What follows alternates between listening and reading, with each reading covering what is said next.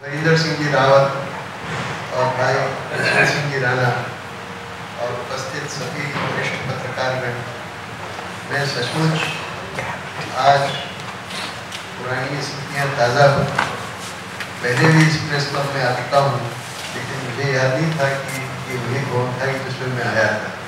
शायद रात को कोई समारोह था, आया, फट से एक घंटे में चला गया। मुझे बिल्डिंग की तरफ़ ही नहीं तो आज पहली बार मुझे लग रहा है कि मैं यहाँ आया हूँ। और मुझे बड़ा गर्व अनुभव हो रहा है कि क्या शानदार प्रेस प्रेस क्लब का ये भवन। ऐसा शानदार भवन मैंने भारत में और कहीं तो दिखाई नहीं। कुछ अच्छे बने हैं प्रेस क्लब कई जगह, लेकिन इतना शानदार कहीं नहीं। है तो आप सब पत्रकारों को मेरी बहुत हार्दिक बधाई। बहुत और आपने मुझे आज मिलने का मौका दिया। ये भी मेरे लिए बहुत ही आनंद का विषय है। अब जो आज विषय रखा है, लोकतंत्र में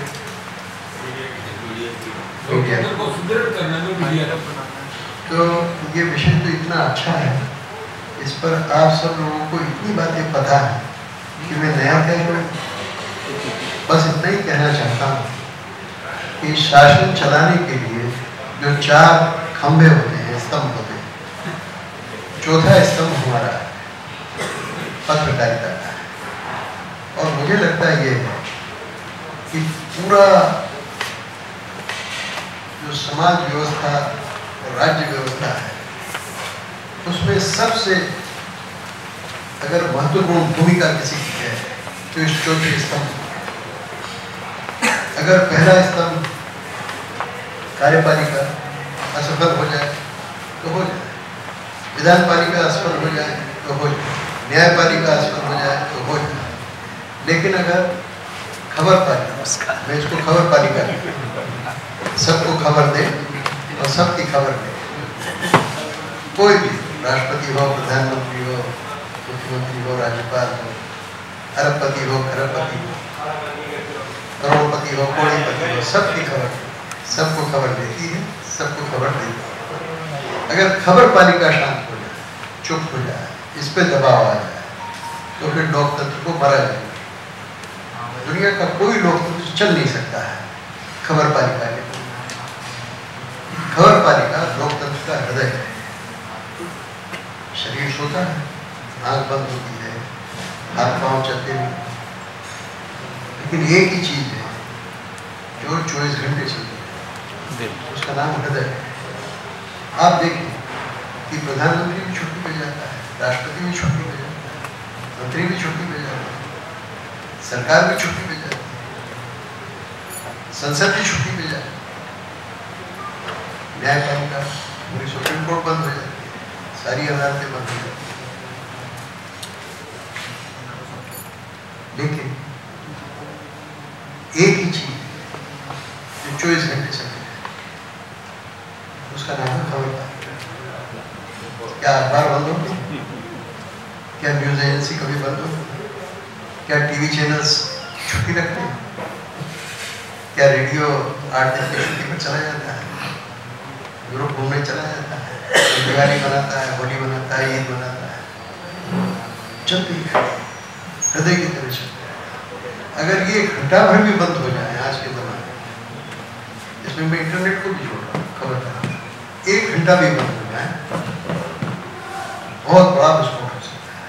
कोई भी चीज़ घट सकती है अफवाह अगर फैल जाए सारे देश में कश्मीर को लेके आज कोई अफवाह फैल जाए पाकिस्तान को लेके कोई अफवाह फैल जाए आज के इतना नाजुक मसला है कि पत्रकारिता अगर ना हो, अखबार ना हो, टेलीविज़न ना हो, रेडियो ना हो, इंटरनेट ना हो, क्या होगा दंगे भड़क सारे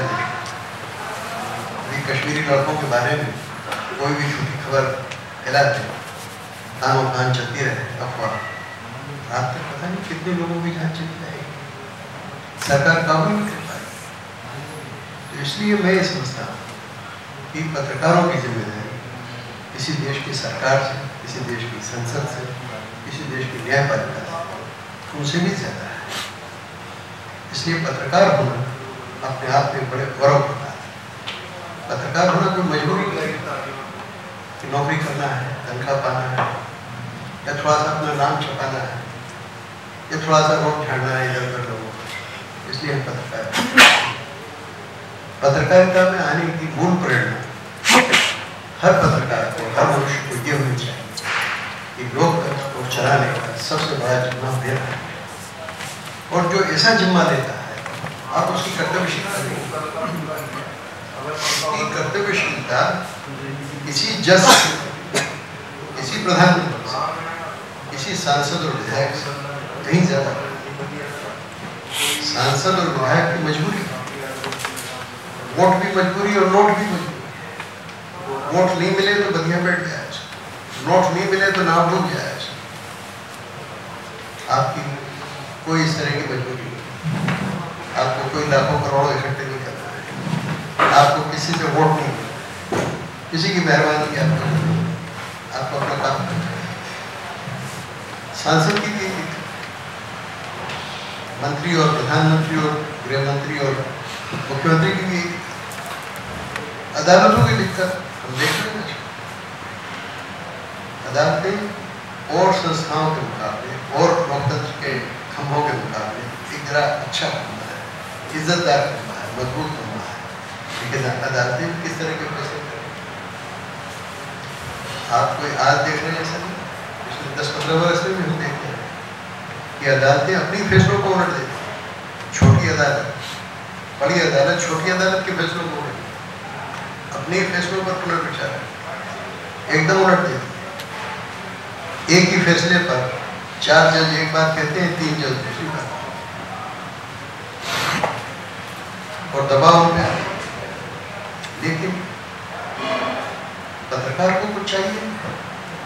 जज को रिटायर होने के बाद राज्यपाल राजदूत बनना।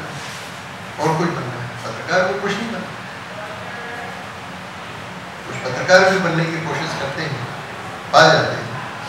लेकिन आपकी और मेरे जैसे बहुत पत्रकार मैंने कभी इच्छा नहीं की पत्रकारिता में आने के बाद कि मुझे कोई पद कई प्रधानमंत्रियों ने आग्रह पूर्वक मुझे पद दिए। लेकिन मेरी कोई दिलचस्पी नहीं मुझे वो सब चीज़ें दो कौड़ी की जब आपको स्वर्ण मुद्रा मिली हुई तो आप मिट्टी की मुद्रा का क्या करें? क्या करेंगे इन पदों एक पत्रकार की हैसियत इतनी बड़ी होती है कि चाहे जिसकी खट खड़ी कर चाहे जिसको सत्य बोल दे उसके मुँह उससे बड़ा कौन हो सकता है? आप मंत्री बन के राजदूत बन के विधायक बन के सांसद बन के हाथ उठाने का काम नेता छोटी बात बोल रहा है। आप कह नहीं सकते, सदन कि आप क्या बात कर रहे हैं दम नहीं किसी लेकिन पत्रकार है, छोटा सा इसी आधार नौजवान पत्रकार। वो ईमान की बात कहना चाहे, उसे कौन हो सकता वो ब्रह्म है। वो सर्वशक्ति इन लोगों के मुकाबले सब लोग कमज़ोर हो। इसलिए मैं ये मानता हूँ कि पत्रकार की ज़िम्मेदारी लोकतंत्र में सबसे और पत्रकार को कोई, अगर वो संकल्प कर ले अंदर से, कोई डिगा नहीं सकता। एक ही चीज़ पत्रकारों को तक करती रहती है कि हमारी क्या करेगा तो मैं अपने अनुभव से कहता हूँ, मुझे अब पत्रकारिता करते करते साठ साल से ज़्यादा हो गए। मेरा पहला लेख उन्नीस सौ अट्ठावन में छपा था, इंदौर के नई दुनिया अखबार और देश के बड़े से बड़े अखबार में हिंदी और अंग्रेज़ी में बराबर लिखता रहा। टाइम्स ऑफ़ इंडिया में जब गिरिराज जी थे श्यामलाल जी थे। तो पाँच पाँच लेख मेरे एक साथ छापते थे। सीरीज़ बहुत कम सीरीज़ ऐसी है जो पाँच पाँच छः छः एक साथ छपी हो। दो या तीन छाप अफ़गानिस्तान में पाँच लेख एक साथ फिर और किसी विषय पर पाँच लेख पाँचों एक एक के बाद एक दिन छपते थे। विदेशी अखबारों में भी बहुत लिखा मैंने। विदेशी पत्रिकाओं में मेरे लेख छपते हैं मुझे याद नहीं पड़ता है कि कभी मैंने डर के या दब के या इस ऐसा ले देने से मेरा क्या नुकसान होगा, या क्या फ़ायदा होगा? ये सोच के मैंने कभी लिखा हमेशा ये सोच के लिखा कि जो ईमान की बात है वो लिखा। कोई लाल लपेट की बात करता है लेकिन जब आप अखबार में काम करते हैं, जब आप एक न्यूज़ एजेंसी में काम करते हैं तो मैं ऐसा समझता हूँ, मैं गलत हूँ तो आप मेरा सुधार करें, मैं आपकी बात मान लूँगा। एक बात का बड़ा ध्यान रखना कि आपके लिखे से वो अखबार बंद न हो जाए। आपके लिखे से वो न्यूज़ एजेंसी में ताला लग जाए बात आप सच लिखेंगे, लेकिन वो सच कहने से, सत्य कहने का वंशी न हो जाए। फिर आप क्या कहेंगे? हवा में कहेंगे? तो वो सावधानी को रखना चाहिए। अब नया इंडिया अखबार निकला है आज का, छोटा सा अखबार। पाँच सात हज़ार शक्ति शहर चंडीगढ़ से चलता हुआ कौन मंत्री ऐसा है जो उसे नहीं पढ़ता देश का कौन प्रधानमंत्री है जो उसको पढ़े बिना उसको नींद आएगी या नाश्ता करेगा सब पढ़। पूरे देश भर में कई जगह छपता है, पाँच दस हज़ार रुपये छपती होगी। कुछ ज़्यादा भी छप सकती है। मैं रोज लिखता हूँ उसके। बंद होने का कोई बंद हो जाए तो हो जाए।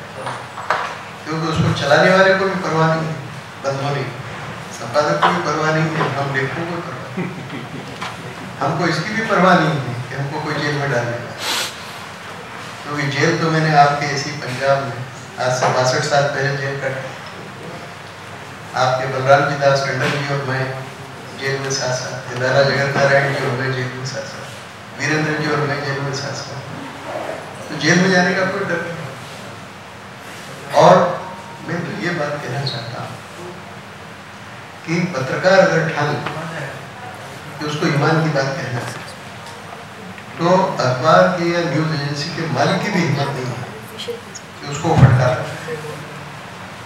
होगा ये कि वो बुला के रोना रोए कि भाई देखो आपने ऐसा लिखा है कि कहीं ऐसा नहीं हो कि हमारा अखबार बंद और विज्ञापन तो कई बार बंद करवाए लोग। रामनाथ गोयल का आपातकाल बीजी वर्गीज और भी कई। कुलदीप नहीं इन लोगों ने कितना गौरवशाली और हिम्मत वाला लेखन बंद कर दिए विज्ञापन ठीक है, बंद। लेकिन आपको वो भी ध्यान रखना कि जिस मंच पे आप खड़े हैं, कहीं वो मंच ही नहीं जाए बस उतना ध्यान उससे ज़्यादा ध्यान रखने की ज़रूरत और मैं पत्रकारों को ये भी कहता हूँ कि लोकतंत्र की अगर रक्षा करना है तो अपने मालिकों से भी मत डर मालिक को आपसे डरना चाहिए। मालिक को भय होना चाहिए कि ईमान वाला आदमी, अगर इस पर मैंने हाथ डाला तो मेरा पैसा मुश्किल आपको मालिक से डरने की भगवान ने पैदा किया है तो खाने को देगा। नौकरी छूट जाएगी तो एक जगह छूटेगी, दूसरी जगह मिलेगी दूसरी जगह छूटेगी, तीसरी जगह पेट तो भरेगा, भूखा नहीं। जिस दिन ये हिम्मत सारे पत्रकारों में हो, उस दिन मैं समझता हूँ कि हमारे लोकतंत्र को कोई डिगा नहीं है? आपातकाल में क्या हर टाइम्स में संपादकीय लिखता था वो शास्त्री भवन रोज जाता था उन दिनों ये ईमेल वगैरह कुछ थे एक चपरासी को देते थे के टाइप करा के भेजा था शास्त्री भवन में एक अफसर थे। पिल्लई साहब, चलो आज मान आ रहा है, पिल्लई साहब पिल्लई साहब। पिल्लई साहब उस लेख को पढ़ते थे। और एक बार क्या दो दो, तीन तीन बार पढ़ते थे, आर्टिकल को संपादकीय आर्टिकल और उसके बाद उस पर निशान निशान लगा के कुछ चपरासी देते थे, वो हमारे पास लाता था। तो उस पर निशान लगा के मैं नीचे भेजता था, मैं हमारा टेलीविज़न एक दिन पिल्लई साहब का फ़ोन आया कि मेरी जी साथ था, आओ चाय पी, मैं गया। कितना मुझे अच्छा लगा। कहने लगे कि मेरा काम यह है कि आप लोगों की गर्दन दबाए रखो लेकिन आप इतनी तरकीब से लिखते हो। कि वो क्या सडासी बोलते वो सडासी फंसाता हूँ और उसमें से फिसल जाता है।